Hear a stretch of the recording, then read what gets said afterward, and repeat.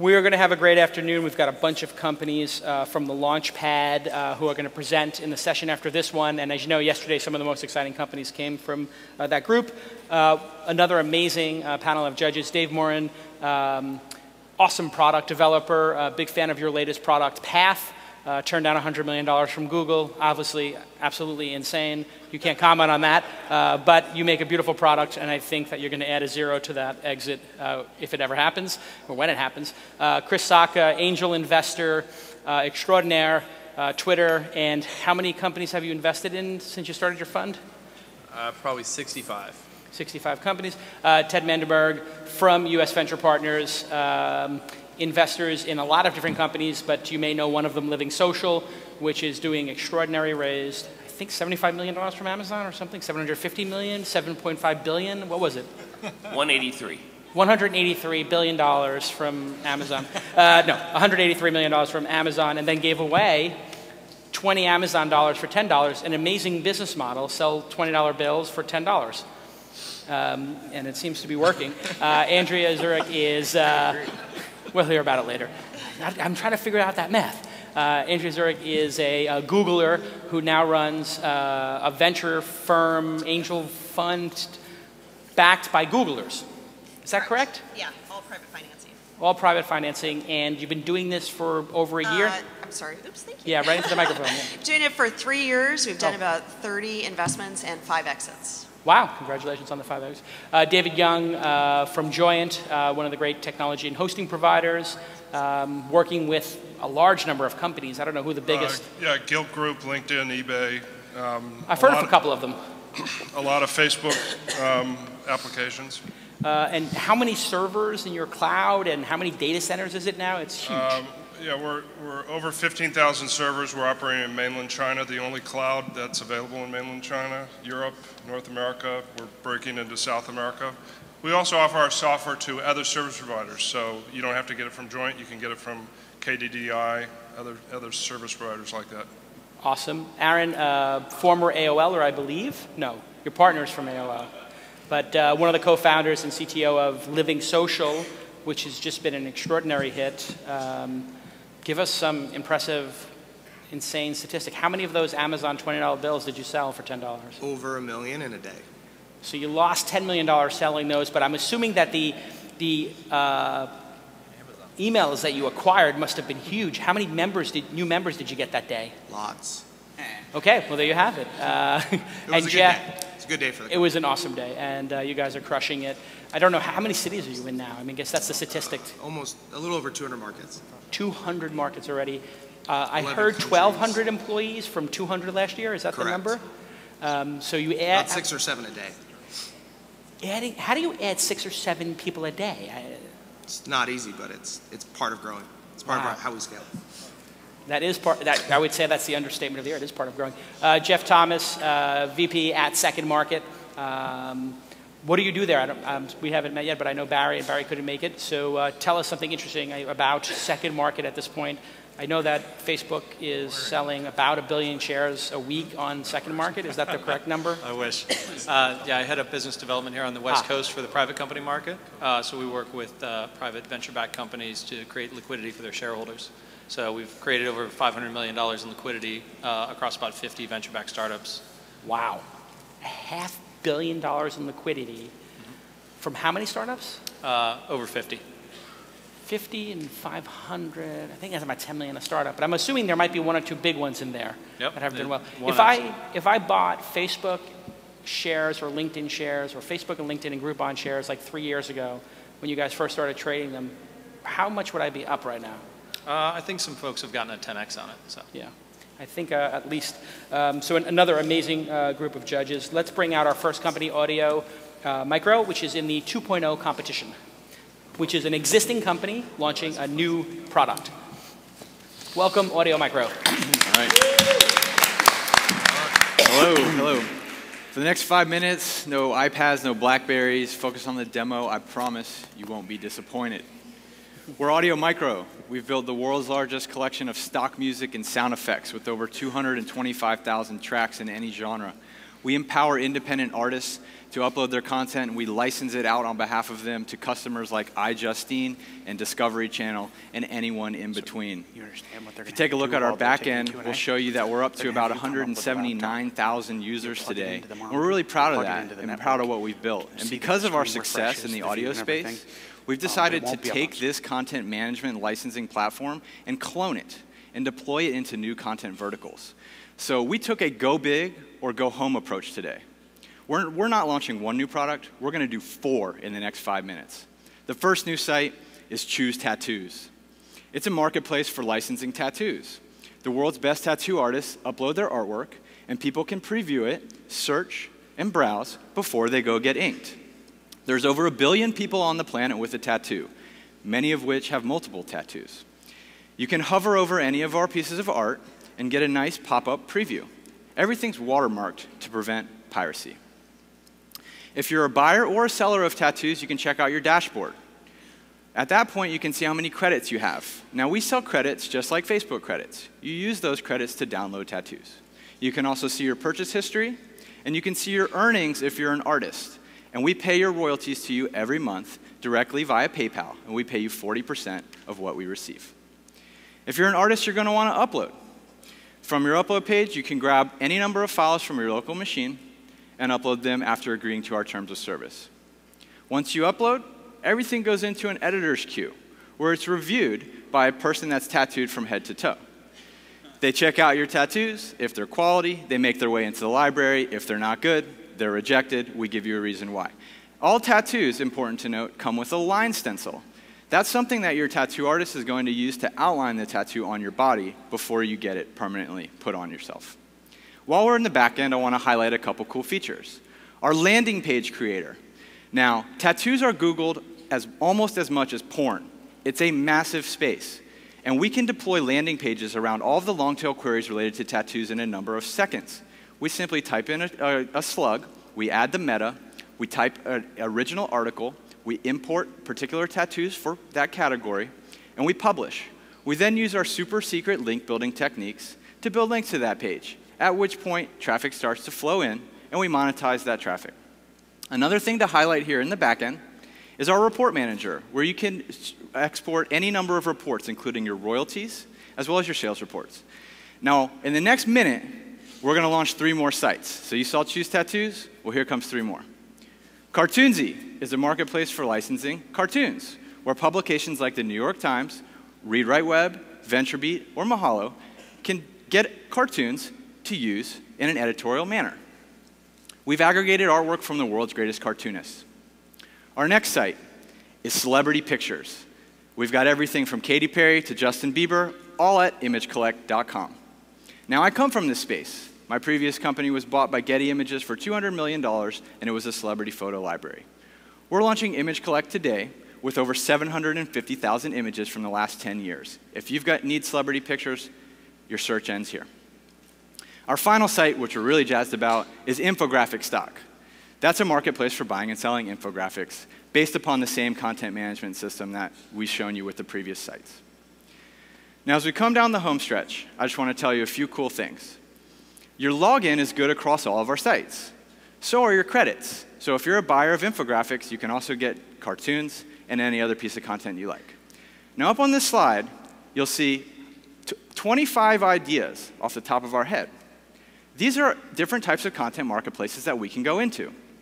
Because our content management system that we've developed is white labelable, which means that basically think of it like WordPress for content licensing. We can deploy these marketplaces in minutes. Not only can we do them for ourselves, but we can do them for you too. So if you've got content and you want to monetize it, contact us and we can work out a partnership deal. Open up your mind and think about the possibilities. Thanks so much.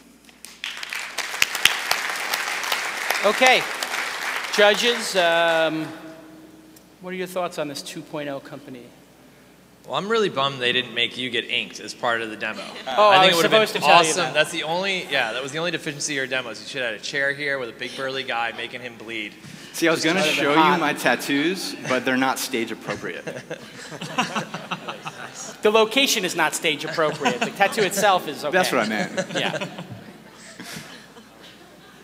Thoughts? So I'm a, I'm a big fan of marketplace business models, but I think the one thing we always look for um, before we enter a new market is just, you know, the illiquidity in that market. So I don't know, is there, is there a lot of pent up demand for tattoos where people want to find that tattoo and want to pay for it and they can't? There is. There's a massive demand. One in four people on Earth has a tattoo. Uh, a billion, over a billion people. And tattoos, as I tried to mention, is Googled almost as much as adult content. So the organic traffic around looking for tattoos is absolutely insane. And all those people are actually looking for imagery, which they ultimately want. And for as little as $10, they can actually download that at Choose Tattoos. So we're super jazzed about the size of that market. And it's a real disparate, fragmented market. There's like 300 tattoo parlors in San Francisco, like on, in the peninsula alone. And it's, it's just, we're, we're taking that artwork and really opening it up to a whole new world. Like imagine if you're in London and you want a guy in San Fran's art, you can now download it locally and go to your local London parlor and get it tattooed on yourself. Is the opportunity tattoos and cartoons, or is it, as you say, licensing the um, content licensing platform? Um, we'll find out. Uh, I, I, personally. You're, you're a 2.0 company, so is this a pivot for you? Sure, if you want to use that word, uh, you could, you, you, could, you know, Audio Micro started as a stock music library, so now that we're in the tattoo space and the cartoon space, it's pretty obvious that that's sort of a, a pivot of a sort, right? When I envisioned the company, it wasn't that. Um, and I think that to answer your question about what's bigger, um, I think that some of these markets, like tattoos and celebrity photos, I have immediate money that's coming in the door, right? I know that the space is really, really large, and I know that I can monetize it. Um, for infographics, it's a little bit experimental. It'll probably need to morph into more like a 99 Designs, where you can have a you know, custom graphic done for you on spec. Um, but our CMS is very flexible, and we can deploy those customizations if necessary. I think it'll be really interesting to find out, but the bottom line is, as you sort of pointed out in your question alone, like with, if I do 25 of these, get them to a million in rev each, two million in rev each. I mean, we're a serious business at that point. Imagine if we do 40 of them, then they grow to four or five mil a piece. So. How do you guys do rights, rights clearance? Yeah.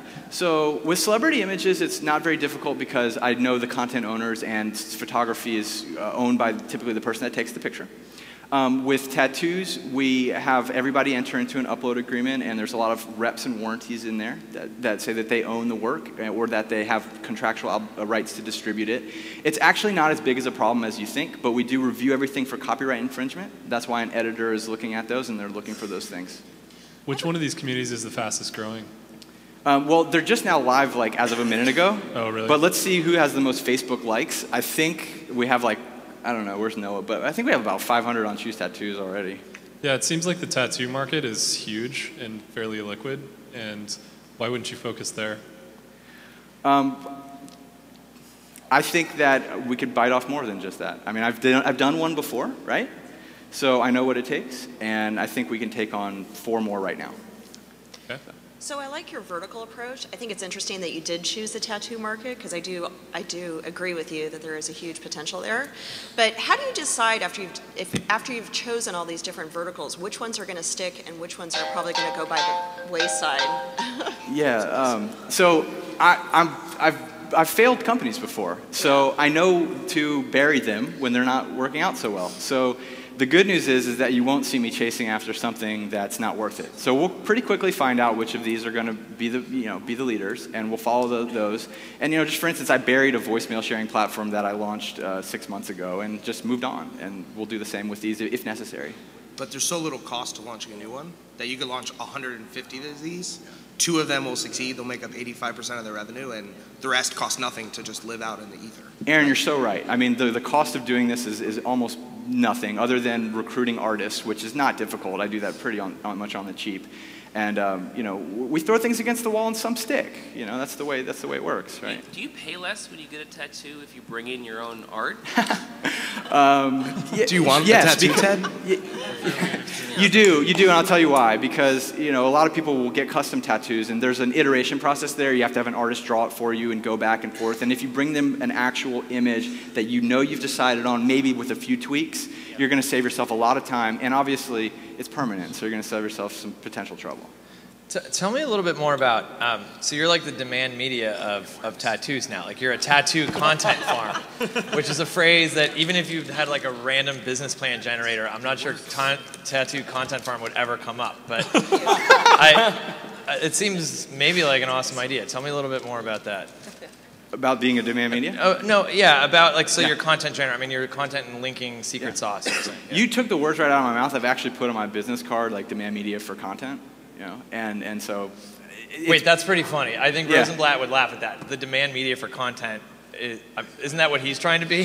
well for, They don't have actual content. yeah, I left a word out, content licensing. Okay. Okay, um, that was what I meant. So, like, I, I love those taglines. Like, Audio Micro was originally iStock Photo for music. So now Audio Micro's turned into like demand media for content licensing, poking fun at going after targeted verticals.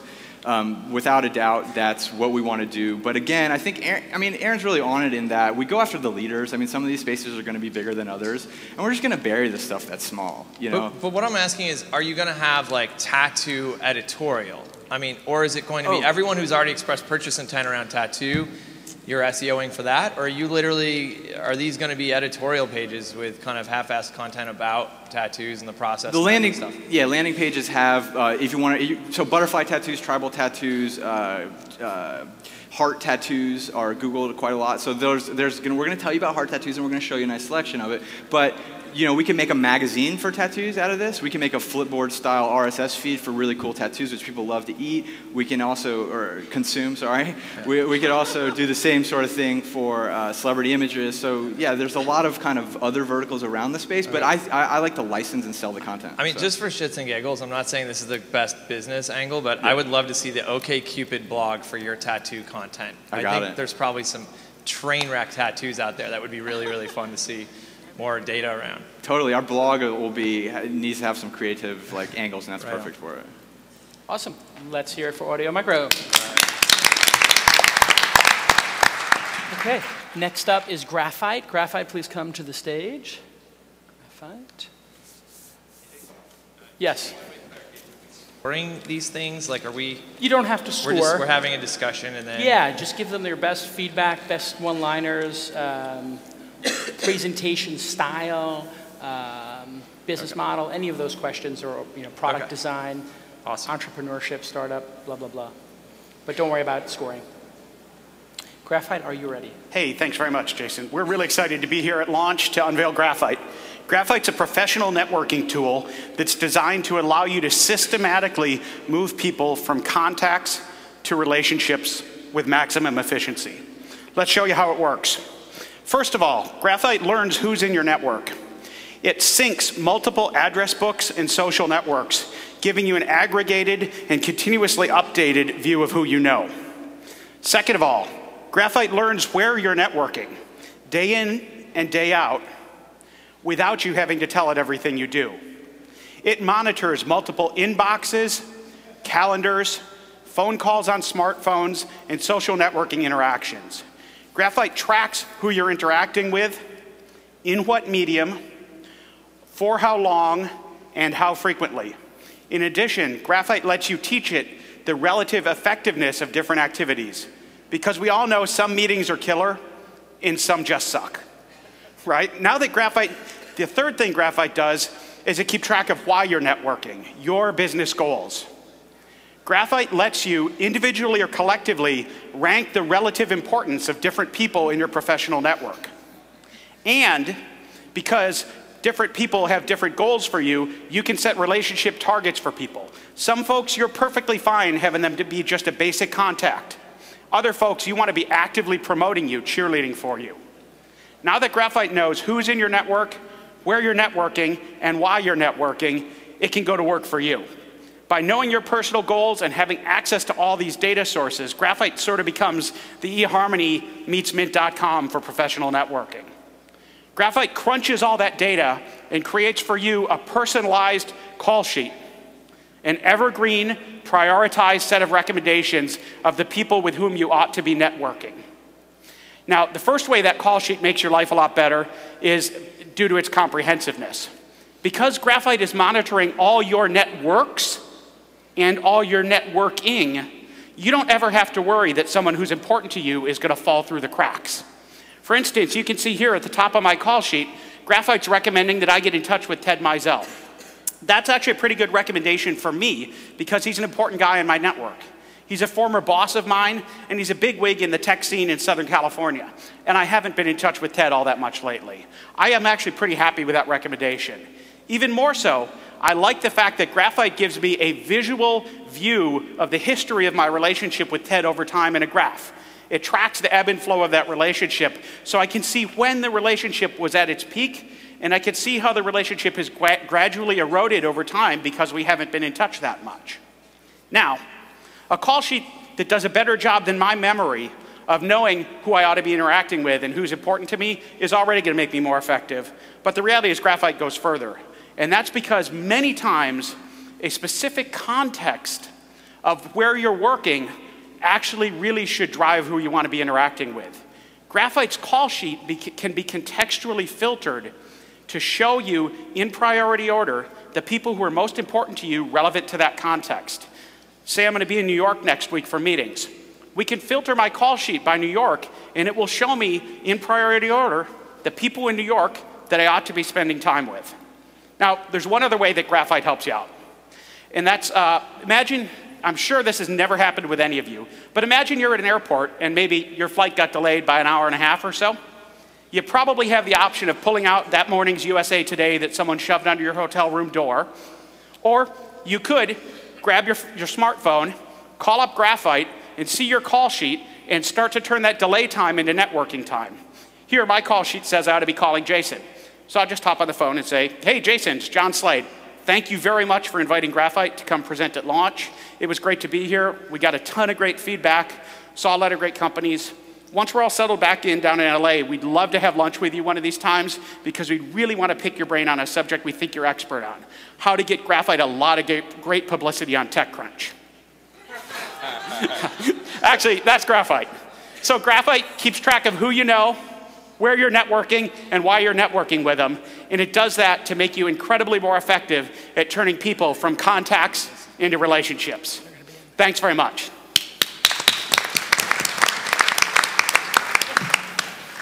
Okay, panelists. So, so I have a question.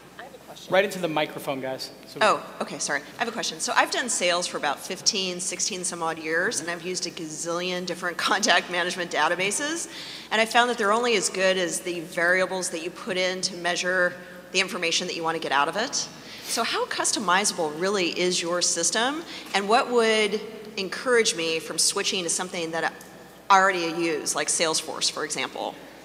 Um, how are you going to make that switch? So, so there's two things there. First of all, we're actually not encouraging you to switch from Salesforce. We think Salesforce is fantastic at managing things that are in the funnel, right? When you've got a, an opportunity identified and you're filling out a proposal and you're running it through to getting the, the business. Salesforce is great at that, Siebel's great at that. We're not trying to compete with that. We're working stuff above the funnel, the building up relationships so you get to the point that you actually have a chance to, to participate in the deal. So that's first answer. Second one, you don't need to do that. We'll sit on top of these systems and we'll pull your contacts from any of any or all of those systems and keep an aggregated view of them. And our filters allow you to allow you to just search on any of the meta tags that are in there, however you structure your data. So you don't have to worry about you know putting data in this field or that field. We'll aggregate people according to whatever data format you have. Does that answer your question? Yeah, it okay. helps. Cool. Thanks. Are you guys trying to solve the, uh, the issue of who knows who in your network? Not yet. Today, we're not solving the problem of a connection of mine and a connection of yours. We might do that someday. We want to get out and get user feedback on whether they really think they need that.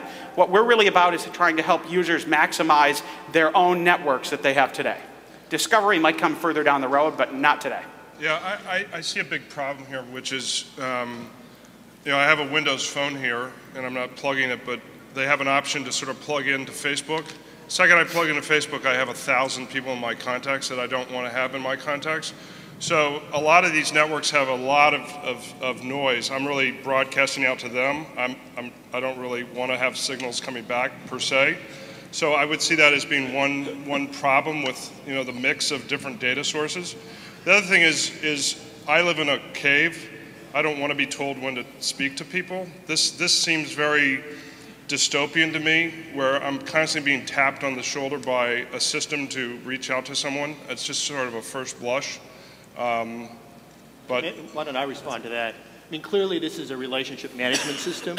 And in our research, we talked to hundreds of people who are in you know, uh, enterprise selling, um, wealth management, commercial real estate, and their job, the, the cash register rings when they do a good job of relationship management. Uh, it's not somebody who's kind of fending off relationships. We found about somewhere between 8 and 10 million people whose real um, effectiveness is driven by this pre-funnel activity, and they have no transparency at all. Um, so, you know, if we can solve that problem, we believe those 8 to 10 million people will be wildly more effective and, and surprisingly, they're, they're spending between one and two days a week working on those non-transactional relationship building activities and have no way to see how effective they're being. But to come back to what Andrew's saying, I, I, constantly work with my sales team to focus on one or two relationships and get those working well rather than how do I manage 300 relationships. I just don't see that as being a plausible scenario. So let, me, let me just put some data out there. I say we talked about 200 people in our target markets. They're typically managing between 2,500 and 5,000 business contacts. And once again, they have no system for doing that. Mm-hmm. Um, some portion of those are active in deals, maybe 5 or 10%. But they know if they're not prospecting the, that big database next quarter, two quarters from now, those opportunities won't be in their pipeline. Yeah, I, final comment. I, you know, on the positive side, I, I'm always surprised how systems like this do bring out that sort of five to 10% of information, the connections, as you say, that you didn't know about. So I, I guess I'd have to use it to really I mean, one test I'd ask you to do, I don't know if this ever happens to you, I'm looking through my um, address book to, do, to find somebody, and inevitably I stumble across somebody and say, darn it, that's a great person I knew. I've not reached out to that person, and I kind of regret because that person has now gone dormant. Right? I mean, that happens to me. Maybe you're better than I am in terms of maintaining those relationships, but that happens to me probably once a month. I started kicking myself and I said, we need to have a system that can do this systematically for large numbers of contacts. Fair comment. The other thing, just from a sales perspective, the other thing that might be useful is a lot of times I, even nowadays, I still have duplicate records. You know, I keep my contacts in a lot of different places, either, you know, Google Doc spreadsheets, uh, LinkedIn, Facebook, a lot of times my Facebook friends aren't necessarily my LinkedIn friends and vice versa. Plus, for example, putting in my old school sales hat, I might have a lot of contacts in Salesforce. So I guess my core like question is, are you going to allow developers or something like that to have like an open API where you can somehow either integrate all these different systems and or at the same time dedupe them? Or I guess what's the ultimate usefulness for this? well, I think the ultimate usefulness really yeah. is helping me focus my time Yep. But, you know, in order to do that, we're going to need to have some really kill, killer deduping capabilities, right? We don't necessarily want to become the system of record that writes data everywhere, but we want to aggregate data everywhere so that we know that the Bob that's over here is the same Robert that's over here and is the same Robbie that's over here. And we want to make it easy for you to do that intuitively so that you can know that when the, the, the algorithm recommends reaching out to Bob, it's also Robert, who's also Robbie. Great. Let's take a final question here. Shervin, you have one? Okay. Can I? Well, yeah, good. First, all, I see the utility for it 100%. Even as a non-salesperson, I kind of forget to stay in touch with some people sometimes. I come down, I live up in the mountains. I come down to San Francisco. I forget who I want to hang out with until I'm here. I fly into New York. I forget who my homies are in New York. I, I, I get that utility. One of the things I really like about it is there is no forced symmetry or mutuality in this app. Like, you know, LinkedIn comes down to the have the haves and the have-nots. You know, you're either connected or you're not, and it creates this false imbalance that, that really makes it uncomfortable for some people. And the same thing has happened with Facebook a little bit, where you have to come up with your own standard for who's your Facebook friend and who's not. So I like that stuff. Um, I'm actually surprised, like, you've brought up eHarmony. Like, I, I feel like it could be a good app for chasing ladies. Like, I feel like it could actually be a good app for singles. Like, and I feel like a lot of your target demographic for that app would be in this room right now. Um, so I'm, I'm curious. Like, I'm curious where you think this extends. So we've talked about the sales demographic, but like in terms of personal relationships. Whether your friends or potential dating and stuff like that, like what's your perspective on that utility? So, so one thing, um, couple things. The reason we say eHarmony, um, we do have a bunch of science behind this system. Um, the chief scientist out of eHarmony is actually helping us do relationship scoring. It's also a micro event system, so we have the head of machine learning at Caltech, who's uh, coached the ensemble team that won the Netflix prize for um, performance on micro scoring. So there is a science behind that. I think what I would say is what we've learned from them is the relationships on a social level are a little bit more um, random and circuitous. When it's business and purpose driven, it's a lot easier to predict utility. right? And I think longer term, we can create larger circles that go into the more nebulous areas of chemistry. Uh, this is a utility-driven function, and frankly, we think that that will drive the ability of people to pay, um, you know, in terms of a business model in short term.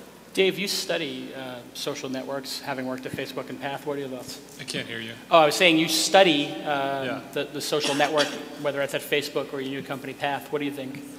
So one of my questions that I had was, uh, you've said a couple of times that uh, you're focusing on helping people focus their time, and it seems as though the algorithm is more focused on telling you who you're not spending time with, um, sort of on the margins. And so I'm wondering sort of a little bit more about how the algorithm works. Um, one of the things we know from building Path is that um, people you know, have a very, you know, the brain can only handle so many uh, connections at one point in time, which is why you forget people, right? And The Dunbar's number yeah, problem. well, yeah, the, focusing on people who uh, are the highest value to you, whether it's personal or, or professional, is very important. So I'm wondering if, do those people matter that are on the outer edge, or should you be focusing more time? I think somebody else asked this too. Should you be focusing more time on the inner, inner circle instead? So remember how we talked about how we monitor where you're networking day in and day out? yeah.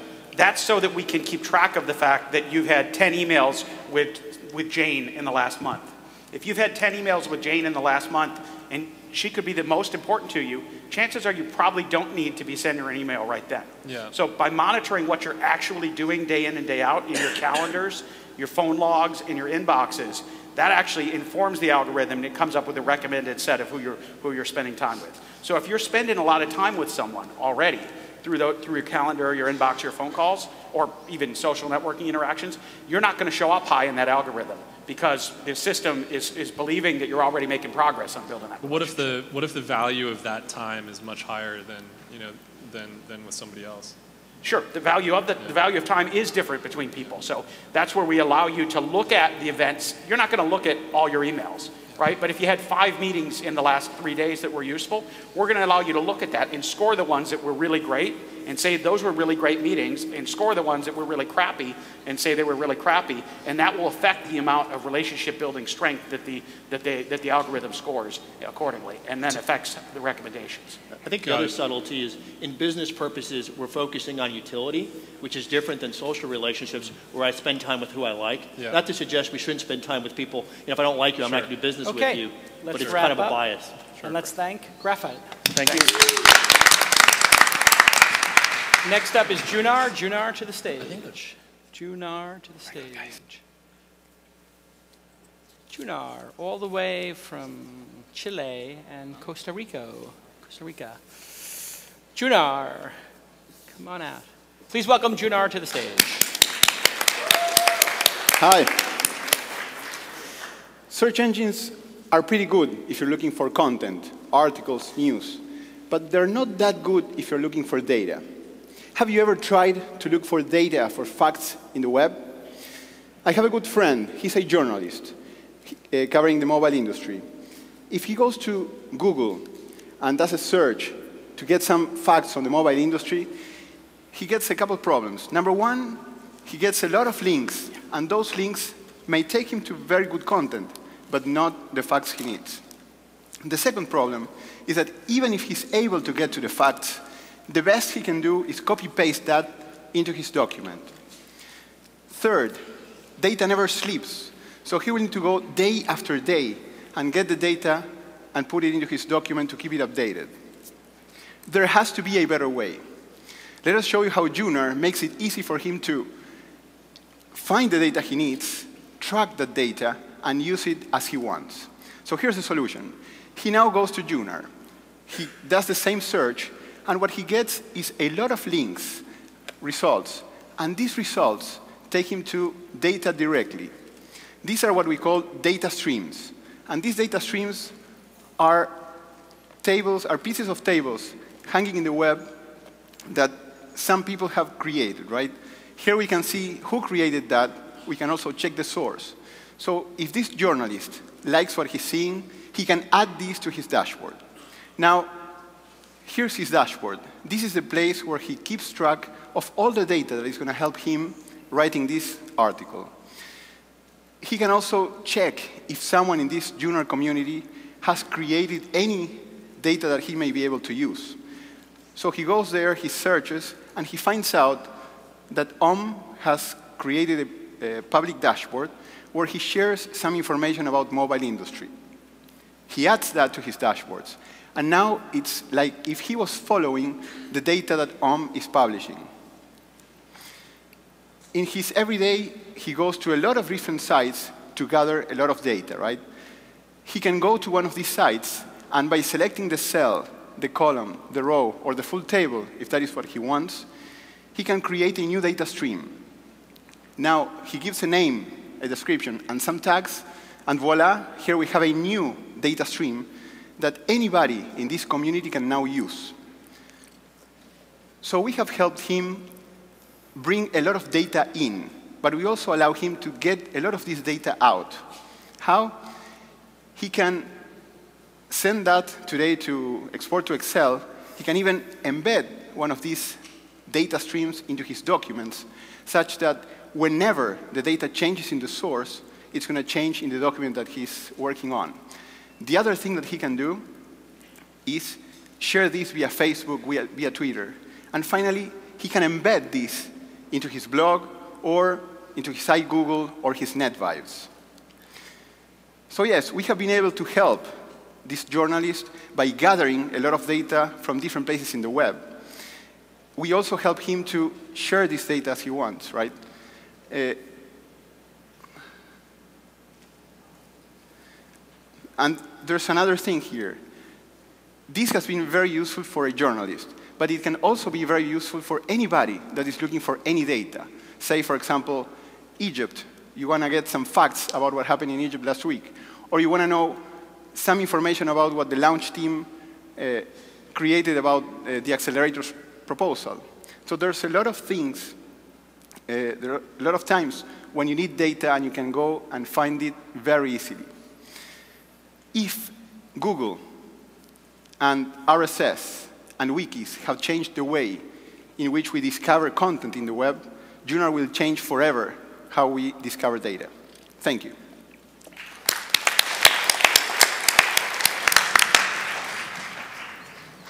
I think it's really, really cool. It's sort of a crowdsourced Bloomberg for everything, for everything, and not just financial. Uh, a lot of companies who make a lot of money off of this are, uh, when you do the crowdsourcing, you're not necessarily, you know, clearing the rights for commercial use. Is this all going to be free, or will you charge for part of the uh, service? Great question. So we're starting with a freemium model. So a lot of what you've seen is for free. Everything what you've seen is for free. But for some premium services, you're going to need to pay $12.95 a month.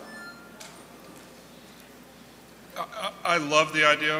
Um, I would just say that from a technical standpoint, I have lots of doubts. I mean, I don't know if you've heard of a, of a platform called OpenDoc, which was pushed by Apple and IBM way back when, same exact vision, didn't work. It's just sort of the messiness of humans and data and how they interact. Um, I wish it worked this way. Best of luck to you, but uh, I, I see the, the standards as being the hardest part of this. Yeah, no, and it's, we have a couple of good gurus, but I agree with you. That's a very, uh, very tough point uh, we need to work on. The, the data sources are essentially static in a lot of places online. So you're depending on them to updating, but in most cases, this data is just reblogged or in some other new report. So there's no way to associate and then re-update any given piece of data. So that I think that's a, a, challenge. So most of our technology does exactly that. We're able to connect. It's like we're creating a database out of all the websites or the tables that exist in websites. And that's where we were really good at detecting when there are changes and being able to bring those changes. We don't store the data of all these places where these uh, creators have created a kind of an, a data RSS, but we're connected to them and we can know when there's a change and then we can bring it back. So I agree, not all of those are going to be dynamic, but a lot of those are. Can you talk about the premium features that you want people to pay for? Like what would those be? Yeah, so a lot of things, uh, in, in a lot of the cases, people is going to go there and either create new data streams or consume what already exists. Actually, most of the times we're going to consume what already exists. There are some cases where you will need to create some new data streams, and in those cases you might want to ask somebody else to create those for you. So you might say, I need this kind of uh, data, so we are going to have ways of gathering that data and offering that data for, for this person. I don't know if you want to. At this stage of, of, the, of the beta launch, we're not really having these premium services. They're going on the roadmap, where we're going to have mashups of data so you can mix up data you want and have the results. You have new data, new kinds of data. You'll be able, like Diego said, like ask for data to be created for you. And what we solve and what we're trying to really get to the consumer is the time he spends searching on Google either or Bing and just finding the data you need and doing it whatever you want to. So it definitely seems like a good idea. Um, one thought that I had is uh, when I was doing a lot of sales, and I'm only talking from a tech perspective, a lot of premium data sort of resides with corporations like International Data Corporation, IDC, which is a global organization, research organization. And it seems to be, again, just in the tech world, that's where a lot of the information comes from, from the Mary Meeker reports and things like that. So I guess as an idea and as maybe a potential revenue stream, have you thought about partnering with some of the IDCs of the world and then extracting some of that super rich premium data for others to use? Actually, that's a great point we mentioned uh, one uh, way of getting revenues to the company, but that is actually something that we really, we really like. There's a lot of companies, uh, there's a lot of public data. You might have heard about Factual, about Google doing very interesting things with data sets. So there's a lot of data out there. There's a lot of companies that are charging big amounts of money, selling big reports to, I mean, corporations or people that can pay high amounts. But we think that there's a very interesting opportunity for getting to the long tail, some of the data that is contained in these huge reports. If you're an entrepreneur or you want a piece of data, you don't want to pay for a big report. So basically what we are being able to do if we partner with these kind of companies is allow them to cater their, their information to another sector, right? Are you guys going to have any expertise in the visualization part? Uh, you could see this really becoming consumer friendly if you know, you throw up a, the Egypt, the Egypt stats on your plasma or the Iraq war stats on your plasma constantly ticking down. Is there going to be work by you guys or by your community on making really cool visualization? Actually, so the data value chain is, is big, right? Uh, visualization is a very important piece of this value chain, and we're not, we don't think that that's going to be our core competency. There very interesting companies doing very cool things with data visualization. Actually, Google is doing something very interesting. So we expect more to bring, be, be very good at bringing all this data and allowing users to find this data and share this data if they need to, uh, and partner with companies that are doing already great things in visualization. Of course, we need to be able to offer the users the possibility of centralizing and making it easier for them to check out all these data streams. But then all the graphic part and everything, we might be able to partner with some other people. Great. I had one question. Um, you showed a lot of data, and I think Mark Pesce has one too. Uh, you showed a lot of data there, but you didn't show any interaction between the disparate data sets. Um, and so that's my first question. Can I take statistics from, I don't know, the UN and then mash them up and then republish that with data from, I don't know, the US Census or something? Uh, and then second, how do you deal with copyright you didn't really adequately address that um, because I, I, know it's a tool, but I mean, data is you know, typically very protected fiercely. And yep. No, so both good questions. Uh, so the first part is we, whenever someone is creating one of these data streams, they're adding a lot of tags. And those, via all the semantic stuff we're doing, allows us to connect a lot of these data streams. So if you go and look for one data stream, there are some tags that relate this data stream to another or to a dashboard. So by clicking on one tag, you may be routed to other pieces of data that this community has created, right? So we're connecting a lot of these data streams. And the second part, which since the beginning, a lot of our investors told us you should go and check for what's going on there. Uh, if we are, I mean, we're mapping a lot of the data that exists already in the web, number one. So for that data, we're just linking and we're always offering the source, right? So in that sense, we're covered. And the second part is for the data that we're going to get from our partners, then we're, we're going to, of course, be paying the right for that data, so that's going to be covered as well. you had a question? It seems like you're really setting yourself up almost as the Wikipedia of data, that you have a crowdsourced model. So that means that you're going to have millions of contributors. So I guess my first question is, will you be able to scale for that? And will I, as a contributor, really want to contribute data unless I know that it's being delivered up in a Creative Commons context? In other words, that it's freely shared? Uh, of course, we need to get all the good incentives for people to become uh, contributors, right?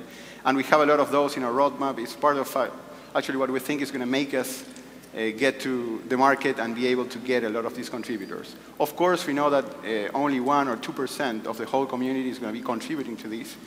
And we've already defined which are the incentives that we'll need to give to these people so that they can be really interested in contributing. Awesome. Let's hear it for Junar. Thank you.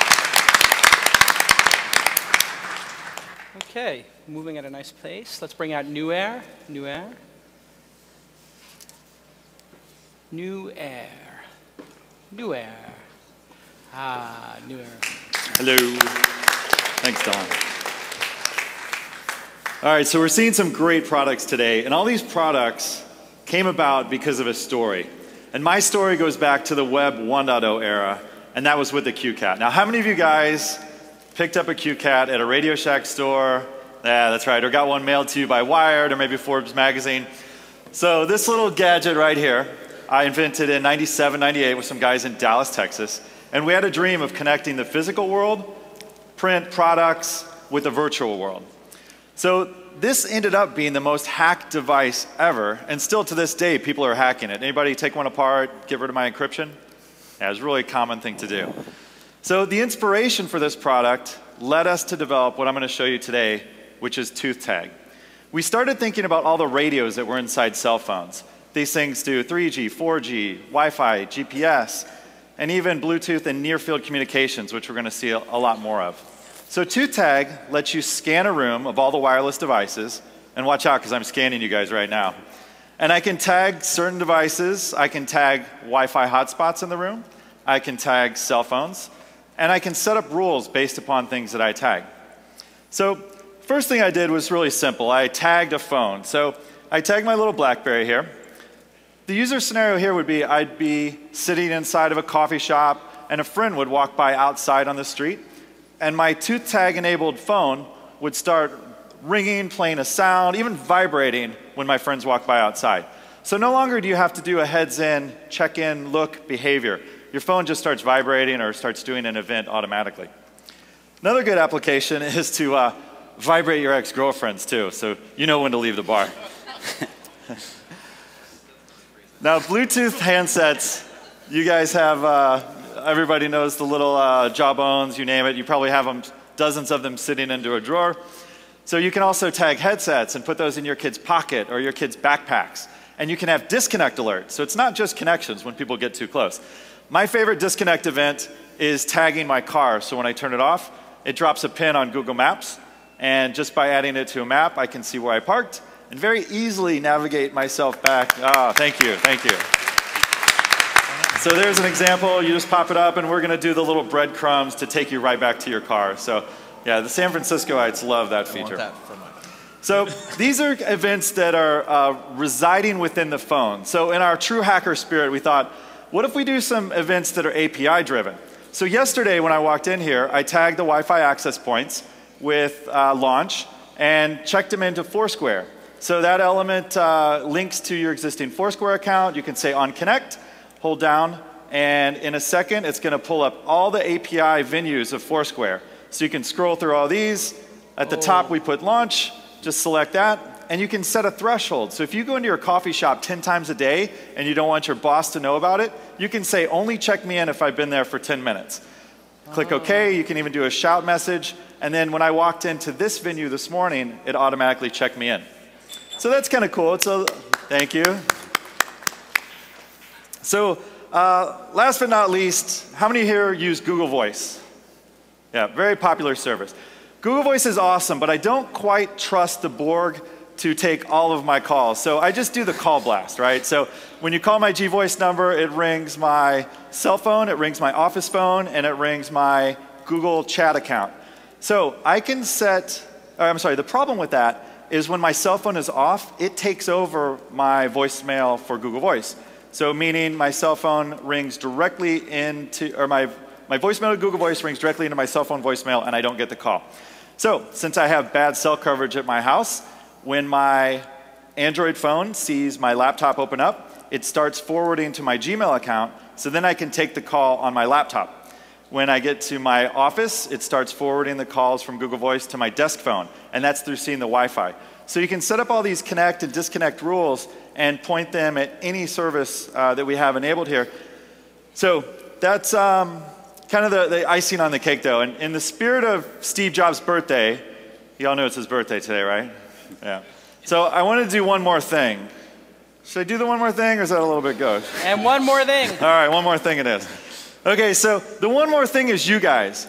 We've built this as a platform, and the platform is such that you can build these applications on top of it. And we kind of have a vision for this platform.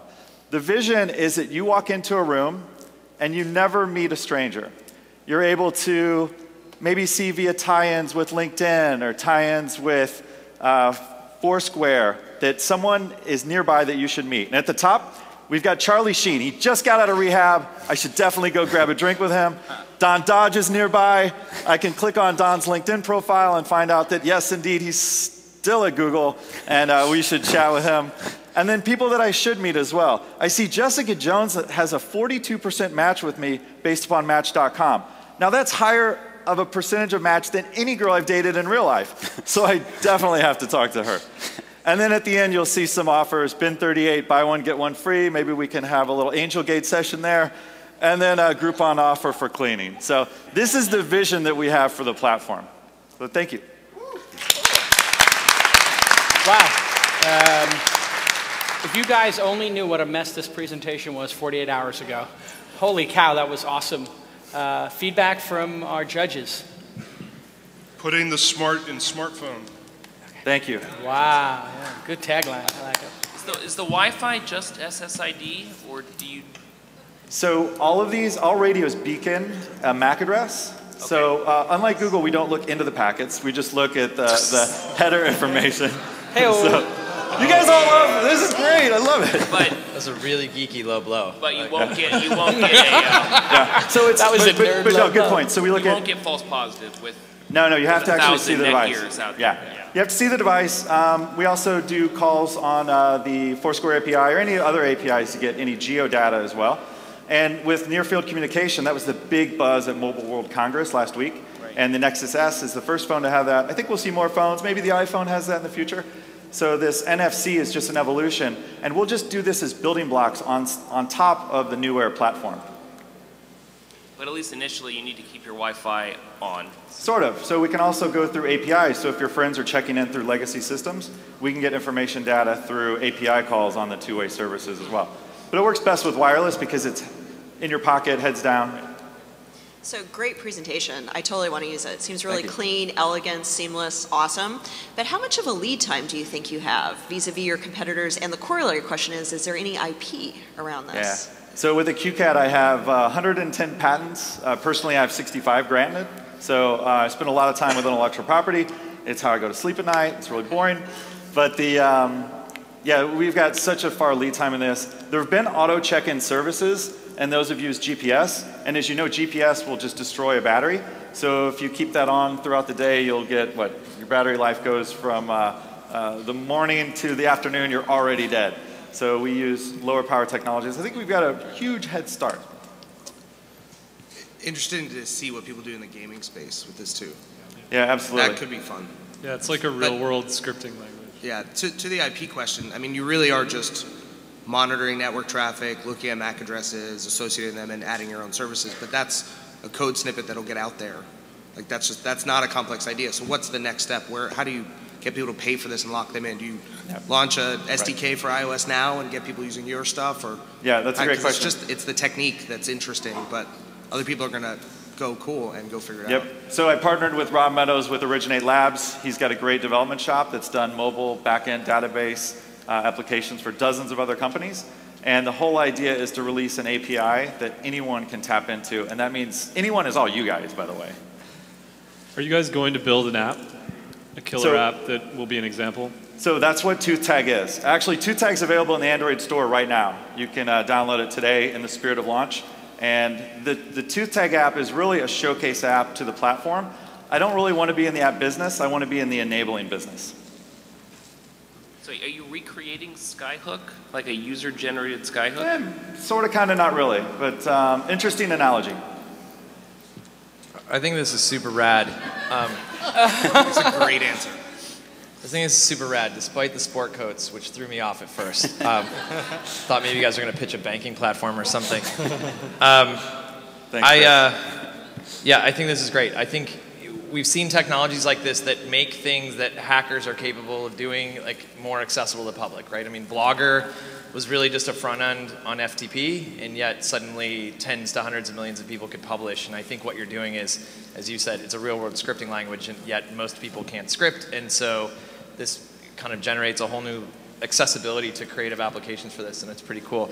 Um, I was thinking specifically about your example of your phone letting you find your car. Yeah. And I was thinking it would actually be really useful for me if my car could help me find my phone. so maybe enable it in the other direction yeah. too. So, um, how many people carry uh, multiple smartphones, multiple phones? You guys, like, I've got an Android in one pocket, a Bluetooth in another, and a BlackBerry. I'm sorry, uh, iPhone, Android, whatever, everything. So when my phones lose each other, they kind of alert me and show me Right a on. map and on the map. So that's cool. Yeah, I feel like one, your killer app is just, dude, where's my car? Yeah, but you know that's such a small piece, and there's other apps already in the Android store that do that. Yeah, I just think it's a good example. Yeah, I it's good. I, I like that. I mean, the killer the good news is it's in there. It's like Prego, and we can add all this other cool stuff on top of it. I, I, I just like something to happen when I walk away from my PC, things like that. I see so many things being enabled by this technology. Yeah, and there's esoteric stuff I didn't do, like auto login. So when you walk up to your computer, it logs you in. You could set this up to auto let you in your door if you have a door buzzer. I mean, you could get as geeky as you want. It would be awesome. It's kind of a crazy idea, but could you have like a little uh, something that you put on your keychain that also talks to your, your cell Sure. phone? So if Yeah. you lose your keys, It's funny. We thought about that. All the You- time. yeah, you could you could hook your old Bluetooth earpiece on. We thought about that, but fundamentally, we're changing human behavior. And one of the things I got dinged with most with the CueCat, which goes back to '97, before Wi-Fi, before smartphones, no camera phones or anything, is people said I was changing human behavior. So for you to have to charge your keys or charge a dongle on your cell phone, I think those are uh, disruptive in their own. And um, probably won't get as much traction that way. But the good news is being open, being a platform, anybody can do whatever their killer app is for it. So we can definitely drill a hole in a Bluetooth earpiece for you and put it on your keychain. Awesome. Uh, let's hear it for. Jason. Now, the company's NewAer, right? The company is NewAer. Yes. And the product you showed is. It's Tooth Tag. Tooth Tag. Yep. Okay. And new, NewAer, you see, I had to get really creative with spelling it. When, um, you know, no longer can you drop an E or an add two It's a E's like we did name, with yes. Boxee. You got to do all vowels. Awesome. Thank Dave, you. wait, hold on. I'm Oh, not question gonna let you over off the here. hook. Hey, what's up, Brian? Pass this down. Right, Oh, yeah. uh, two real quick things. Sorry, uh, I know you already got your final applause. Um, one, iPhone. How are you going to do that on iPhone? Obviously, premium platform. Uh, they're kind of leading the way for smartphones that don't do backgrounding anything. That's right. And this relies on backgrounding, so Yep. that's obviously a really important component. And then second, um, you didn't mention business model at all. Do you need a business model anymore? Yes. It's like it's like 2011, isn't it? We had no business models last year. Um, no, I I think the business model is very much like MySQL. So MySQL has a free version. Uh, when people It's start getting traction, then we'll start uh, having charging for it. Um, and Rob's company did a product called Tech Track on the iPhone, very much like Find My iPhone on Mobile Me. And we actually got uh, multitasking to work. So we're going to use some of the intellectual property from one of his other projects and make the thing come back to life. He's saying no. Oh, right. Sorry. I used the wrong term. We're going to use an idea of the technology, but not the find my iPhone element. So. Right. Awesome. Thanks, Ryan. Well done. I just want to mention for the people who are in the VIP section, yes, there is Starbucks and red wine available. However, it does smell like somebody smoking weed here.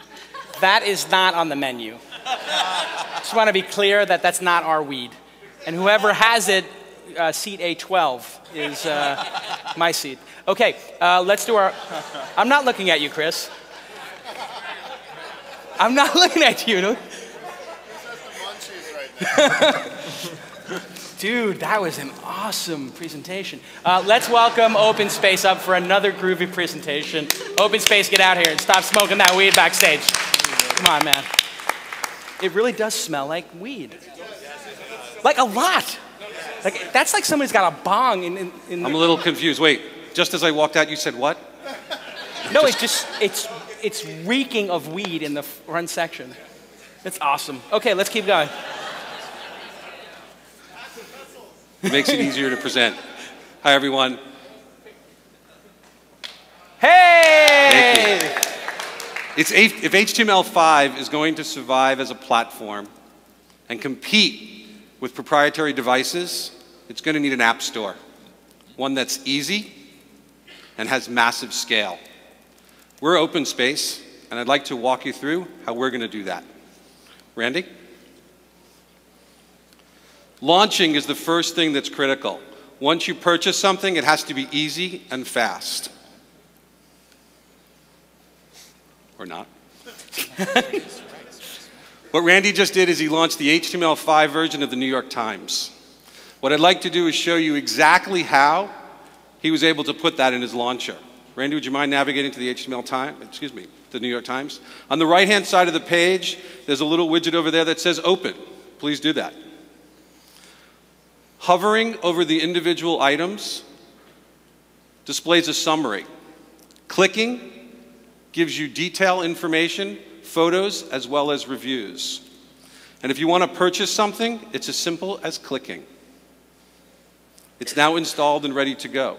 What's interesting about the way we've decided to solve discovery is the application actually comes with you rather than you having to go to it. So let's navigate to another web page. How many people have children? This is a great math games website. And let's do the same thing, Randy. Let's purchase the PBS version because we know we trust them. And that's it. If we're ready to now go, we can launch those applications we just purchased. And it's that easy. So that's the first part of this is how easy can we make it? As simple as a click and making it easy to discover the applications that you want to purchase. It's all done in a personalized manner, and it isolates based on where you are. Randy's going to launch into the PBS game. Thanks, PBS, for doing that as part of the demo. And let me talk a little bit about distribution, because that's the second part of this. What we've done is we've created a developers cooperative. We want to bring the power back to the people. Not put it in the device manufacturers, but actually give it to the developers and the content creators. Thank you. Yes. In doing that, what we've set up is a referral program, as well as we're putting all of the rules, ter terms of service up onto the website and allowing them to vote. This way, they understand ahead of time what the rules are and they can actually influence them. The referral program will pay them 5% for any user that they recommend use the open space product. I'm Robert Rich. This is Randy Wattler, and we're Open Space.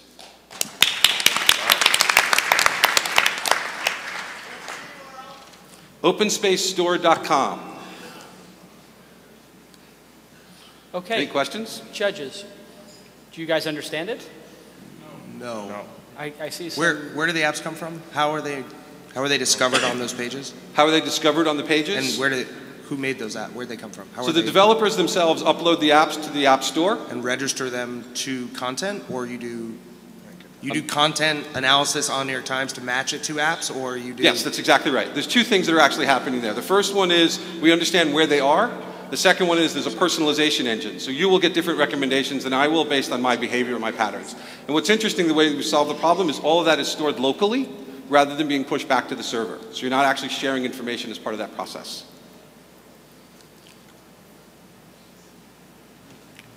Okay. The judges are confused. They don't understand it. What question? So it's, I mean, at the high level, it's an app store. We're focused on HTML5 apps. In the way of discovery, we've moved it away. Instead of going to an app store, the app store actually comes to you. And then it, discover, it discovers things that are relevant and interesting based on what you're currently doing. And then you just click and install. So talk about customer acquisition. So I think that's maybe where we're getting stuck is at some point people have to know to go to open space and give you payment information and, and figure out how to use it. So just talk through your strategy on that. So when the way we're going to get consumers to interact with this is through the cooperative. And what we're doing is we're partnering with applications that already exist out there, and they're going to co-install the OpenSpace application along with theirs. We're in talks, and we haven't closed it all up yet, but it looks like we'll be somewhere between 50 to 100 million people when we actually close those out. So it'll be a large app store with massive distribution. Okay. I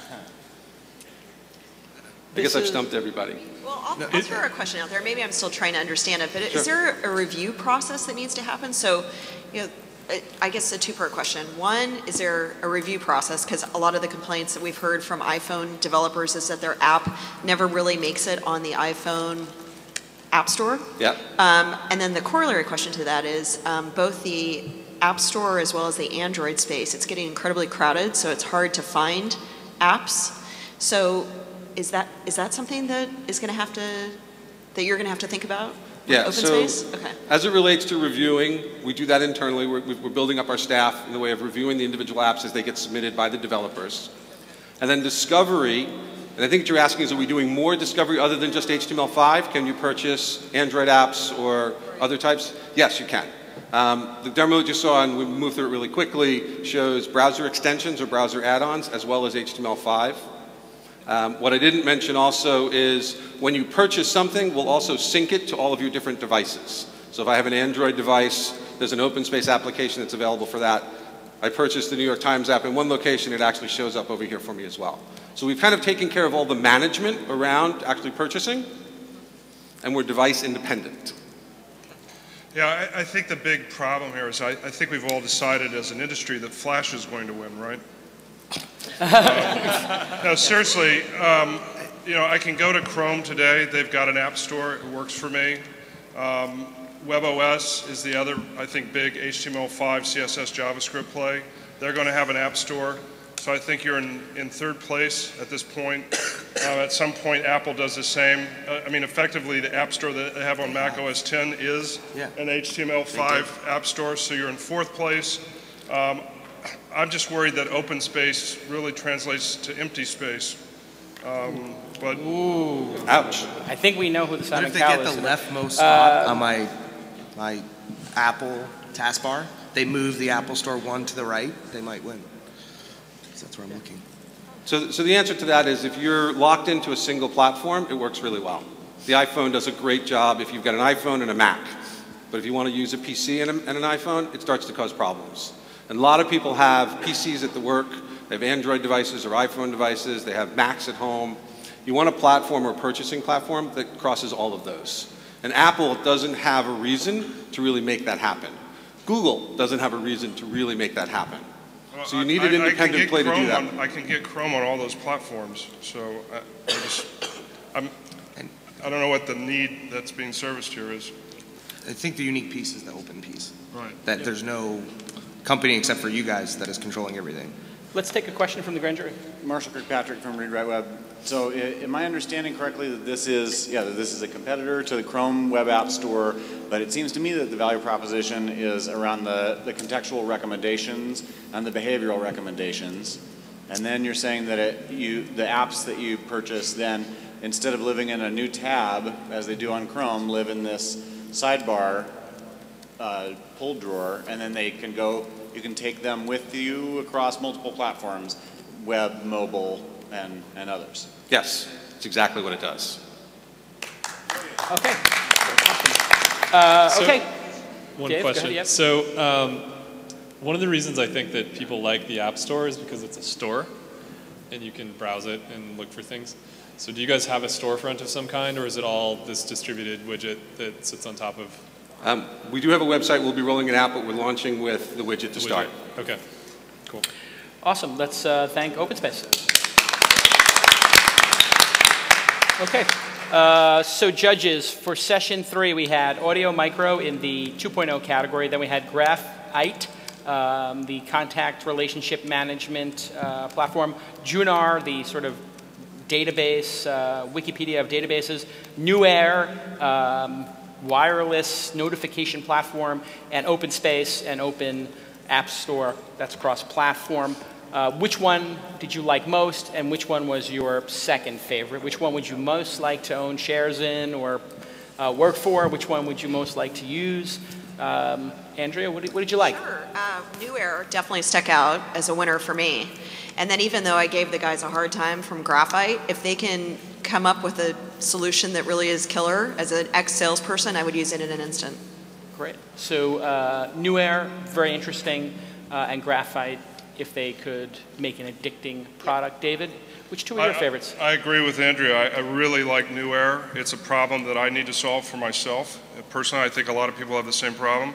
They don't have a business model. Um, and then even though I was skeptical about graphite, I think, you know, if they can um, work that out, it could be a very useful tool.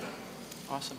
Aaron, did you have a favorite? Semi-similar. NewAer is an interesting idea. Not sure it's a business or a company yet. I think a lot of people are going to go, "That's awesome," and how do I do it? And I'm worried about that for them. And graphite is cool, but I want to see both sides of the algorithm. Right. Both the piece that is who should I contact, but also who I am contacting constantly, so I know. Because if they have the ranking, they can show me both. I'm actually interested in both extremes, not So just the people who you have good relationships with, Yeah, who do how I good are import into they? Path? People who you should be deepening relationships with. Ah, Like, like, both sides of that are really interesting, and they're only dealing with half. They could do both; it'd be cool. So NewAer and then Graphite are your two? Yes. Jeff, what did you like? You know, I think uh, graphite, I think, was the one that was solving the clearest need. I think that's something that I, I personally deal with a lot is, you know, forgetting to follow up with people, so that's one I'd want to use. Uh, and then on the, the business side, I just think Audio Micro, because they had the scalability to go to so many different verticals, and I think they've identified at least one or two that are going to be big.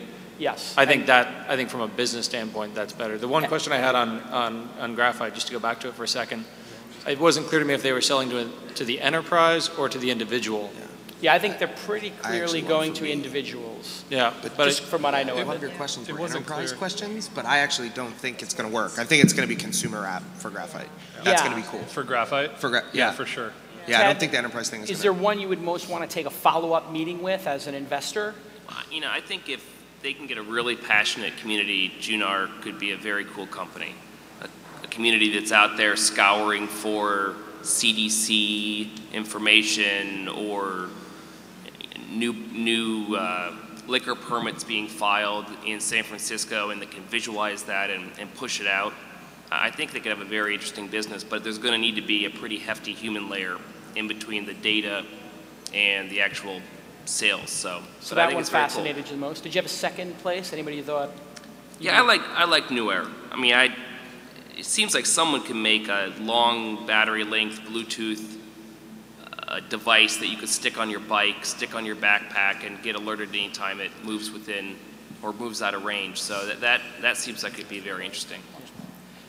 Chris, any of these uh, interesting to you as an investor or, uh, or as a user? Uh, yeah, so NewAer is really interesting to me as a guy with a background in wireless and, and automation. Uh, and I think, and I'm not worried about competitive threats there right now. I do think there aren't many people working on this hard enough yet.